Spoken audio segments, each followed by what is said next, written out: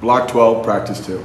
Again, keeping this theme of how do we get more weight in our hands and leveraging positions or exercises to allow us to use as heavy as possible dumbbell or kettlebell as we go through this training block.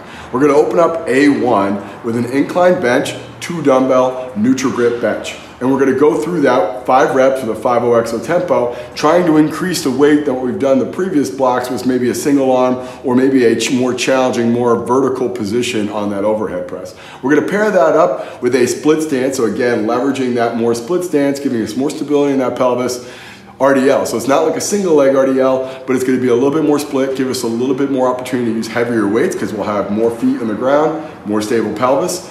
RDLs five each side with a 5 exo tempo. And then we're gonna move into our B series. We're gonna progress our lateral squat into a posterior lateral squat. So we're gonna get a little bit more rotational effect. So feet will be oriented 90 degrees apart.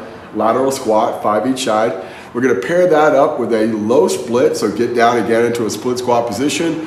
Contralateral band row. So the band will be attached to the rack. We'll pull as heavy a band as possible, holding that, that position of stability five each side with a 5 exo tempo. And we're gonna pair that up with one more exercise in that B series, a half kneeling, so one knee in the ground, one foot in the ground, med ball zercher hold, 15 seconds each side. And we have really heavy med balls, so we should be able to push that all the way up to that 100 pound mark, trying to create as much internal pressure as possible, challenging that position. Again, really pushing that strength side of the envelope.